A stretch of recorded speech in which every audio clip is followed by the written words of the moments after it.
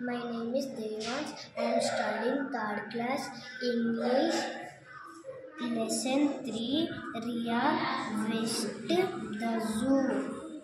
Rhea went to the zoo one Sunday morning. She went along with her parents.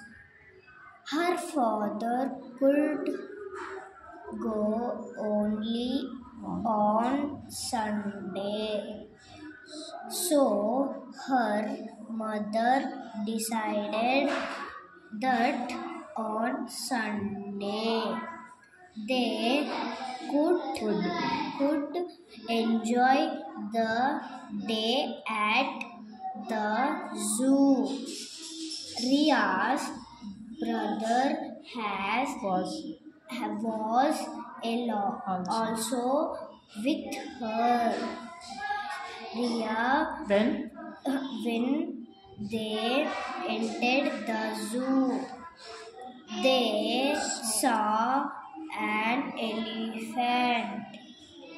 Then they saw the zebra. The lion was, Was. was in a cage. It was very big and dangerous and un- Ant tried to give eatables to a monkey, but Ant attended attended who Told. her not to go, do so. The birds were in a cage.